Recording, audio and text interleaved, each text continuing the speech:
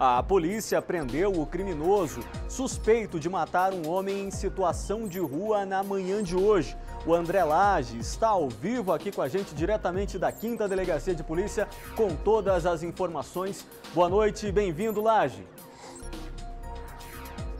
É isso mesmo, Victor. Boa noite para você e para todos que nos acompanham aqui no JL. Eu vou setorizar aqui, dar uma informação para os nossos telespectadores, para entender esse caso. Foi um caso solucionado muito rápido aqui pela 5 Delegacia de Polícia e que aconteceu na manhã de hoje. Uh, quem estava trabalhando ali no CONIC, o vigilante, ele foi passar o turno. Quando estava saindo ali, ele viu um corpo ali próximo à via S2, ali próximo ao CONIC. E aí ele acionou a polícia militar militar, a polícia militar foi até o local, até quando chegou lá, verificou se esse homem realmente estava morto, até chamou os bombeiros para verificar se o homem realmente estava morto, mas foi confirmada a morte deste homem, que é uma pessoa em situação de rua. Daí então foi acionada a Polícia Civil. Então a quinta delegacia de polícia entrou no caso e começou a investigar. Inclusive, a gente tem imagens de câmeras de segurança, câmeras de segurança ali do CONIC que flagraram, que flagraram o momento do crime. Um homem que aparece ali dando golpes na cabeça dessa pessoa em situação de rua. E a gente está aqui com o delegado Wellington Barros, que trabalhou aí nessa investigação hoje, durante a tarde, conseguiu em, em tempo recorde, inclusive, prender esse criminoso, esse suspeito, e a gente vai conversar aqui com ele para entender um pouquinho mais sobre essa investigação. Delegado, muito obrigado pela participação aqui na TV Brasília, no Jornal Local. Explica para a gente como é que foi essa investigação. Vocês conseguiram em tempo recorde prender esse criminoso aí que que matou aí essa pessoa em situação de rua e com requintes de crueldade, né? Com certeza. Primeiramente, nós temos que agradecer ao empresariado que forneceu as câmeras para a gente, câmeras muito boas, que foram efetivas na solução do caso e identificação do autor. É, foi um crime que aconteceu durante a madrugada, com requintes de crueldade, a pessoa foi morta a pedradas, e as câmeras eram tão boas, tão boas, que nos ajudaram a identificar esse autor.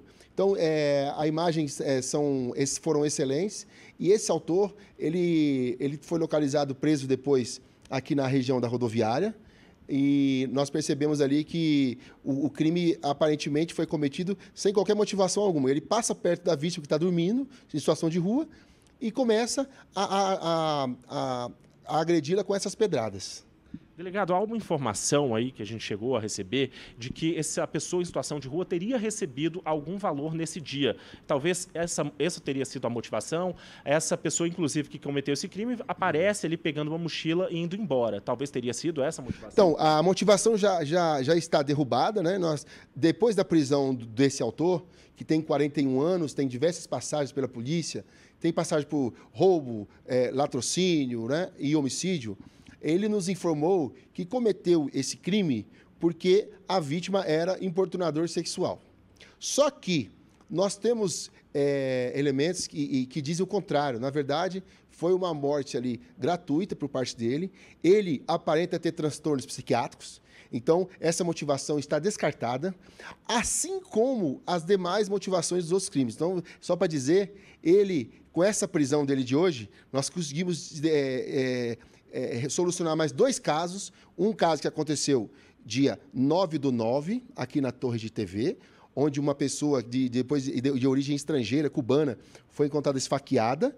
Então, é, a motivação que ele disse foi a mesma, que a pessoa era uma importunadora sexual. E uma outra pessoa, que aconteceu um outro crime, tentativa, 19 do 9, que também ele disse que agrediu a pessoa para tentar matá-la, essa está viva, por conta de que ela é uma importunadora sexual. Então, o que nós podemos dizer sobre a motivação desse crime é que, na verdade, ele aparenta ter transtornos psiquiátricos. Nós temos aí que pedir um exame de sanidade mental e também para saber todo esse transtorno, porque, na verdade, é, são, foram mortes gratuitas sem é, essa motivação aí de, de dinheiro ou outra coisa. E o autor também tem diversas passagens. Tá certo, delegado. Muito obrigado pela participação aqui no Jornal Local.